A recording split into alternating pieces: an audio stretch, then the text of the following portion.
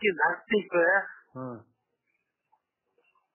अब मुश्किल ही नहीं माना बिल्कुल नामुमकिन। ऐसा दूरदृष्टि वाला राजनीतिक सुलझा हुआ व्यक्ति राजनीतिक निर्णय लेने का क्षमता और किसी काम को लागू कर प्रशासनिक क्षमता और इस तरह का सोच वाला जो राजनीतिक रूप से बहुत ही स्ट्रांग था। एक चीज़ आपको उदाहरण देते हैं। याद कीजिए कि शायद 94 के आसपास हाँ। नरसिंहा राव जी जो सपोर्ट लिए थे झारखंड मुक्ति मोर्चा के शिबू सोरेन, सोरेन सोरेन मंडल साइमन मारांडी स्टीफन मारांडी सबसे हाँ हाँ। उस समय में बिहार से झारखंड को अलग करने का फैसला हो चुका था। जी हाँ। हाँ, ठीक है? और जगन्नाथ मिश्रा ये मज़बूत राजनीतिक रूप से इतने मज़बूत थे हम्म, कि वो आए और प्रधानमंत्री से बात किए। पहले तो होम मिनिस्टर चौहान के स्टेटमेंट को कंडेम किए बयान दिए। हम्म, और उसके बाद दिल्ली आए नरसिंहा से बात किया उस फैसला को बदलवाया रुकवाया। हम्म, उस समय में बिहार का बंटवारा नहीं हुआ। इस इसके अलावा आपको जा करके जब अस्सी में दोबारा चीफ मिनिस्टर बने हम्म, तो उन्होंने राज्य के कर्मचारी का सैलरी बहुत कम था। हम्म, स्कूल के टीचर का सैलरी बहुत कम था। हम्म, हम्म, दूसरे राज्यों की अपेक्षा? दूसरे राज्यों की अपेक्षा। हाँ हाँ बहुत कम था बहुत कम था। उसके बाद से 106 कॉलेज को सरकारीकरण करने का फैसला एक एक इसमें लिए थे। तो इतना हमारे प्रशासनिक क्षमता इतना मज़बूत था राजनीतिक निर्णय लेने का क्षमता इतना मज़बूत था। किशोर आपसे एक चीज़ हम जानना चाह रहे हैं कि जगन्नाथ मिश्र जी तीन बार बिहार के मुख्यमंत्री रहे। कार्य लेकिन कार्यकाल उनका पाँच साल का ही था। लेकिन इन पाँच सालों में ही उन्होंने जो कुछ काम किया उसकी चर्चा आज भी होती है। उनका काम कितना सफल हुआ विफल हुआ वो तो बाद की बात है।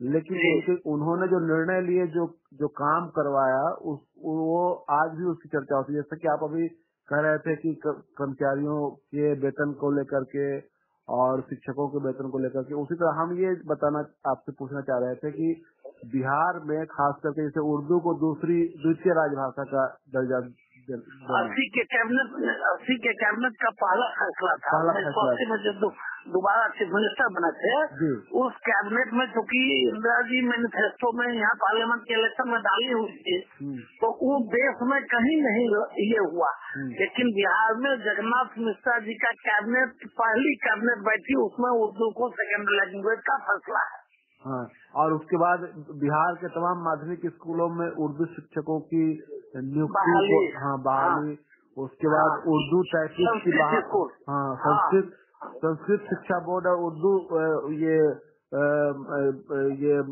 शिक्षा बोर्ड की स्थापना और प्रत्येक प्रत्येक प्रखंड में उर्दू टाइपिस्ट की ये नौकरी नियुक्ति। तो ये ये कुछ ऐसे फैसले थे जिसको लेकर उर्दू वाले मामले को लेकर तो उनकी आलोचना भी हुई थी। वो लोग उनके उनके नाम के आगे जगन्नाथ मियाँ तक कहा करते थे लेकिन वो हाँ हाँ हाँ, राजनीतिक रूप से आलोचना हुई हम्म। लेकिन उन्होंने अपने फैसला को जिस शक्ति से मजबूती से लागू किया इतना बड़ा इतना मज़बूत एडमिनिस्ट्रेटर पिछले लास्ट तीस वर्ष में कई मुख्यमंत्री हुए हैं। हम्म, ऐसा मज़बूत एडमिनिस्ट्रेटर हम्म। हम किसी ऐसा क्षमता किसी मुख्यमंत्री में नहीं देखे हैं।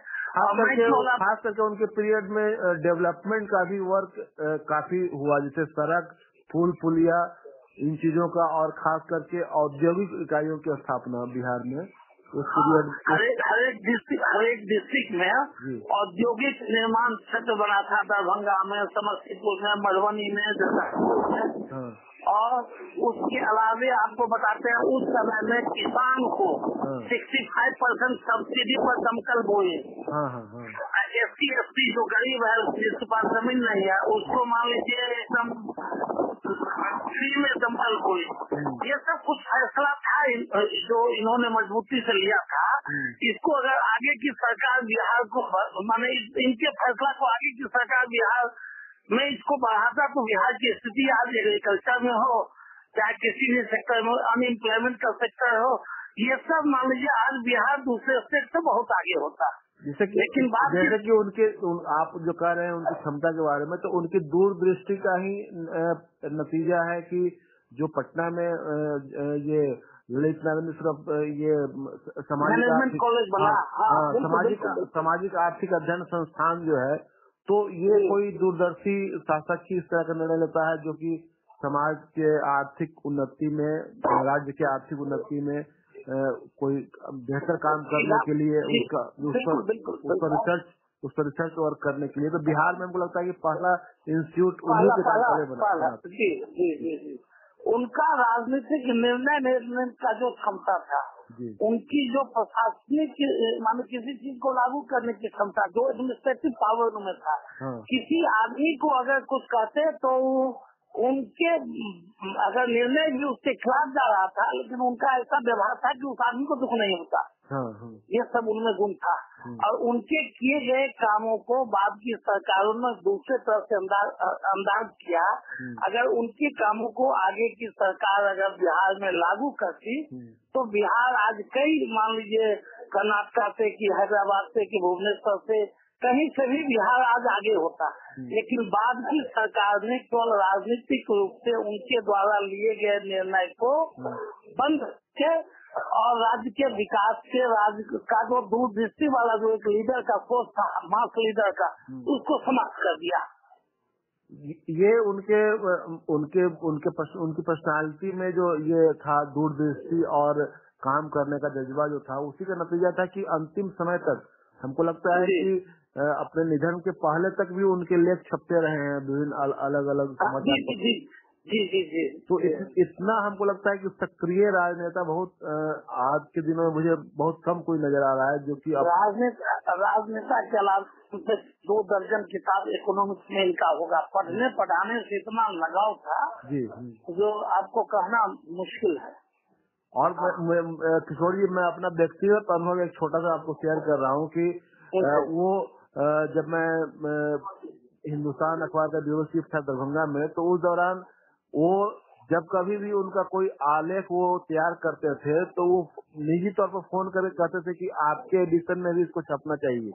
हाँ वो, हाँ। वो आग्रह करते थे उनका उनका कहने हाँ। का मतलब ये था कि जो मैं चा, चाहता हूँ कहना चाहे जो लिखना लिख रहा हूँ मैं वो दूसरे लोग दूर दराज के लोग ही पढ़े उसको। ये हाँ, उनकी चिंता लगाव हाँ व्यक्तिगत लगाव सबसे रहता था। ये, ये नहीं था कि मान लीजिए किसी का कोई संपादक है बात कर ले। हर इंडिविजुअल से बात करने में वो अपने आपको सेटिस्फाइड माने बहुत ये समझते थे। और जब तक आपसे बात नहीं हो जाती हाँ। तब तक वो परेशान रहते थे। और वो मैंने बयान छापने के लिए वो नहीं किसी को कहते थे बल्कि लेख छापने के लिए मैंने ताकि हम हाँ। जो कहना चाह रहे हैं वो लोग दूसरे लोग लोगों तक जाए। हाँ लो, लोगों लोगों तक जाए। ये ये हाँ। चिंता उनकी जो है वो निश्चित रूप से दिखाती है कि बिहार के बारे में उनके मन में एक चिंता थी। हाँ बिल्कुल बिल्कुल। तो ये आपका जो एसोसिएशन रहा डॉक्टर साहब से तो वो कितना लंबा रहा? कब उनसे जुड़े आप परिवार करीब सत्रह साल रहा। हम पहली बार उनसे जुड़े जुड़े थे। अस्सी इलेक्शन में मैं फ़र्स्ट ईयर में पढ़ता था उस दौरान हम उनके मीटिंग को पहला अटेंड किया था। उसी समय से लगातार रहा। और बाद में समझिए जो चौरानवे के बाद तो दिल्ली तक में रहे लेकिन 2003 के बाद हाँ।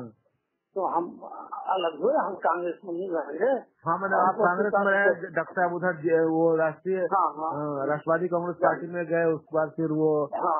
नीतीश जी के साथ। उसमें चलेगा हाँ हाँ। नीतीश जी के साथ हाँ। दो हज़ार पाँच हाँ। पाँच के चुनाव में उधर चले गए थे। हाँ। हम्म। हाँ। लेकिन कांग्रेस जी को इच्छा से नहीं छोड़े थे तो केसरी के कारण कांग्रेस से अलग हुए थे। हाँ हाँ सीताराम केसरी के कारण जो केसरी के कारण कांग्रेस से कारण इन्होंने से अलग कर दिया सीताराम केसरी। हाँ। तो वो और इंदिरा जी जो इंदिरा जी जो इनको मानती थी देश में शायद ही कोई नेता होगा हम तो दिल्ली में भी उनसे बहुत क्लोज है हम सिर्फ़ एक बात बताते हैं। झारखंड इशू वाला। हाँ झारखंड का डिवीज़न नरसिंहा राव शंकर राव चौहान राजेश पायलट छह एमपी का जो सपोर्ट लिया था हाँ। कि वो सुखन सूरज मंडल स्टीफन बरामदी इन लोगों का हम्म, उसके बाद मूल माने औपचारिक रूप से नरसिंहा और शंकर और चौहान राजेश पायलट झारखंड स्टेट का ये फाइनल कर हाँ। उस समय में जगन्नाथ मिश्रा आकर के नरसिंह राव के पास अपना पक्ष रखा उस फैसला को बदलवा दिया। माने झारखंड का डिवीज़न उस समय में नहीं हुआ। तो बिहार जो बटने जा रहा था उस, उसको रुकवाया उन्होंने। रुकवा दिया हाँ अपने राजनीतिक हिस्से तो ऐसा ऐसा करेजियस लीडर हम बहुत दिन दिल्ली में घूम रहे हम्म, इतना राजनीतिक माने मज़बूत आदमी हम बहुत लीडर नहीं देते हाँ ये तो ये तो दिखता है कि बहुत छोटे से कार्यकाल में पाँच साल तीन बार भले ही मुख्यमंत्री रहे लेकिन वो पूरा जोड़िएगा तो पाँच साल का कार्यकाल बनता है हाँ तो पाँच साल पाँच तो साल। पाँच साल में जितना उन्होंने काम किया जो दिखता है और दूसरे हमें हाँ। लगता है कि जितना चर्चा में रहे वो आप जो कह रहे हैं उनकी कांग्रेस में पैठ चाहे इंदिरा हाँ। जी इंदिरा जी के तक उनकी पहुँच तो ऐसा बहुत हाँ। कम लोगों का का होता है जो कि दिल्ली तक जिसकी पहुँच होती है और आपका पता जब जब कांग्रेस का डिवीज़न हुआ आज कांग्रेस बना कांग्रेस आई बनी। तो बिहार में तो बहुत लीडर चले गए थे आज कांग्रेस में शरद पवार सब के साथ जगन्नाथ मिश्रा एकदम पूर्व एकदम इसके तरह मजबूती से खड़ा थे इंदिरा जी के साथ हाँ और का जो प्रोग्राम हुआ था इंडिविजुअल जगन्नाथ मिश्रा अपने दम पे इंदिरा जी को बिहार ले गई थी और प्रोग्राम कराई थी हम्म हम्म, हम्म। तो ऐसा लीडर तो हम लोग तो समझिए हम लोगों का जो नुकसान हुआ हुआ। हम्म। बिहार बहुत पीछे चला गया लोग लाख दलील दे पिछड़ा अति पिछड़ा करे। हम्म। लेकिन बिहार बहुत पीछे चला गया। इनके कमज़ोर होने से इनको मेन स्ट्रीम से हटने क्या करो ये इनकी खासियत ये थी मुझे जैसा लगता है किशोर जी की बने की जो बांटो और राज करो वाली नीति में ये नहीं विश्वास करते नहीं नहीं ये सबको मिला के चलते थे। ये सब में मैंने जिसको कहते हैं कि समावेशी नेता का गुण इनमें था। हाँ, सबको सबको अगर पाँच आदमी का कोई लिस्ट बनता तो उसमें देखते थे हर कास्ट में सीट होना चाहिए। बिल्कुल, अगर नहीं होता था तो उसको फेंक देते थे। हाँ हाँ हम्म, हम्म। मैंने ये मैंने एकांगी सोच रखने वाले नेता नहीं थे। नहीं नहीं, नहीं। ठीक है किशोर जी तो कब लौटना है आपको? पटना? कल तो जाएँगे कल जाएँगे ना। अब ये हाँ। कल पटना तो जाएँगे ये तो जाएँगे तय ये तय ये तय हो गया है क्या कि वो बलुआ में ही होगा?